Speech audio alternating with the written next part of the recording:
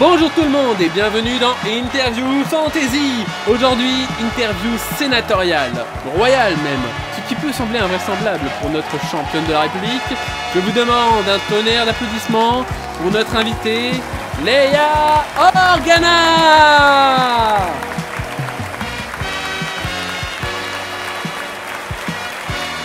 Bonjour tout le monde. Ah Léa. Oh, quel titre toi je te donnais Princesse? Sénatrice Générale Ou simplement madame? Simplement Leia, s'il te plaît. Et tu viens de griller une de tes cinq questions, non? Oui, c'est vrai. C'est vrai, c'est vrai. Bon, on va partir du principe maintenant que les cinq questions commencent après la présentation de l'invité. Oui, ce sera mieux. Alors, comment ça va? Ah bah plutôt bien, plutôt bien. Et toi, euh, la famille? Elle va bien, mais il faudra que tu passes à la maison, un de ces quatre. Nous fêterons la journée de la vie dans quelques lunes. Eh bien pourquoi pas, ça me ferait plaisir, ça fait euh, tellement longtemps. Mais nos spectateurs vont s'impatienter si nous continuons ainsi nos échanges de civilité. On commence? On commence. Première question donc. Tout le monde t'aime. Moi le premier. Mais pour la fervente démocrate que tu es, ne trouves-tu pas cette situation paradoxale? 30 ans de pouvoir, comme sénatrice impériale, puis chef rebelle, et finalement sénatrice pour la Nouvelle République? Tu y vas cash? J'aime ça. Euh, je crois que dans un premier temps, il faut distinguer les trois périodes. Comme sénatrice impériale, j'étais très jeune et ce ne sont pas mes compétences politiques mais la confiance absolue de mon père qui importait. La rébellion était en marche et tout autre choix aurait été une source potentielle de trahison. Comme rebelle, j'étais également très jeune, mais là, il faut être honnête, c'est mon statut de princesse survivante d'adorante qui fut important. Beaucoup de personnes furent convaincues de nous rejoindre sur ce seul point. Et puis, même si mon grade dans la rébellion était ronflant, je n'avais qu'une petite équipe sous mes ordres. Encore une fois, le décorum comptait plus qu'autre chose. J'ai fait mes véritables premières armes politiciennes pour la Nouvelle République. Un peu avant la chute de l'Empire, je retrouvais un parent et l'opportunité d'en apprendre plus sur une part inconnue de moi était tentante, mais mon Motma avait tout à rebâtir et j'étais parmi les personnes en qui elle avait le plus confiance. Je ne pouvais pas abandonner ce pourquoi beaucoup trop avaient perdu la vie. Puis les années ont passé, un an, puis cinq, puis dix, j'ai beaucoup appris, et j'ai surtout appris à défendre mes idées. Et quand j'ai senti venir le temps de passer la main, j'ai regardé ceux qui voulaient ma succession. Et je fus particulièrement déçu. Beaucoup d'ambitieux, beaucoup de cyniques, ne voyant dans le poste qu'un moyen pour obtenir un pouvoir personnel.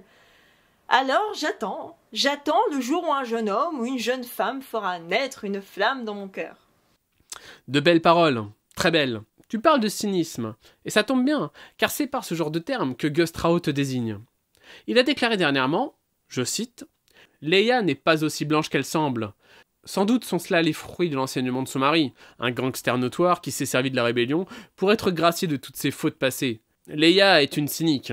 Elle utilise ses talents pour séduire les jeunes sénateurs, qui suivent aveuglément sa ligne politique, parfois au détriment de leurs propres convictions. C'est là son terrible pouvoir, digne, j'ose le dire, des pouvoirs de persuasion de feu l'empereur. Un commentaire sur ces terribles paroles?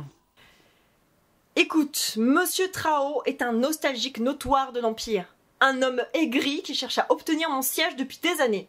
Les gens du secteur d'Aldoran n'en ont jamais été dupes, alors je ne commenterai pas les propos de ce grossier personnage. Il y a pourtant une part de vrai dans ces propos, en quelque sorte, hein. et nombre de personnes attestent de ton magnétisme. Certains, les plus vils évidemment, euh, allant même jusqu'à prétendre que le maître Jedi Luke Skywalker influencerait tes opposants. Un avis? Le fantasme du complot Jedi, un classique, un terrible classique, hein, qui a permis à Palpatine d'exterminer l'ordre sans que la population ne s'y oppose. Et puis quoi après? Les reptiliens? Ne rigole pas, certains illuminés ont déjà prétendu que j'en étais une. Les Jedi pratiquent leurs arts avec une certaine discrétion, non pas parce qu'ils contrôlent secrètement la galaxie, mais uniquement parce que leur savoir est dangereux pour celui qui n'ont pas la rigueur de suivre le côté lumineux de la force. Je le rappelle, hein, car cette idée reçue à la vie dure.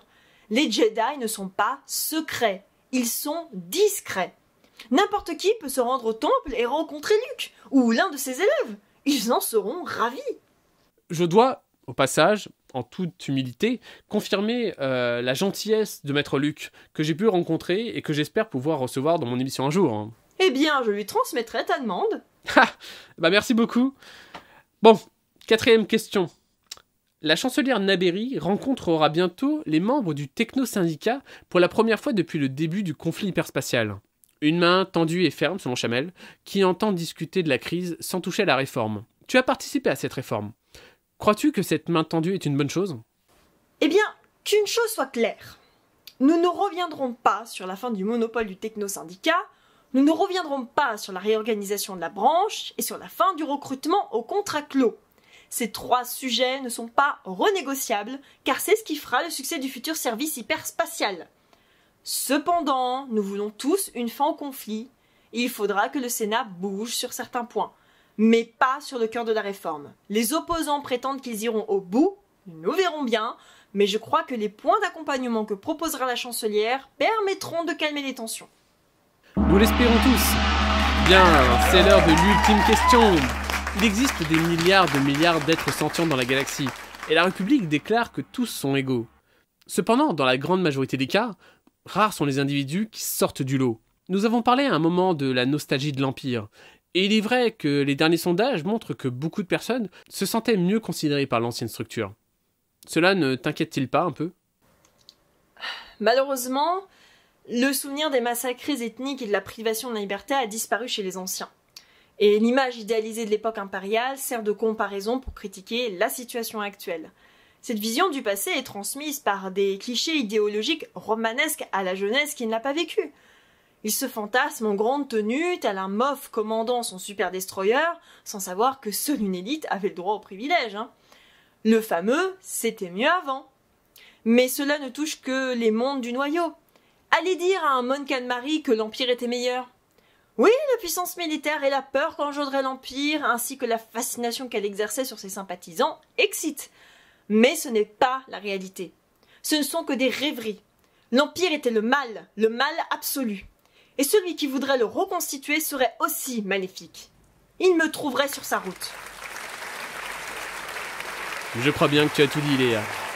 Encore merci d'être venu sur mon plateau. Mais c'est bien normal, c'est même plutôt à moi de te remercier. Sur ce, amis spectateurs, nous nous retrouverons prochainement pour une nouvelle interview. N'oubliez pas de liker et partager. Je vous dis salut. Salut